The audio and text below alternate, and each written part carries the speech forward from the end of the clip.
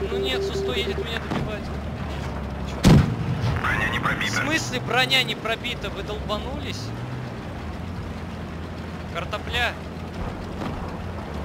Сука, они в меня упарываются вдвоем. Пробил. Броня не пробита. Меня не пробилось.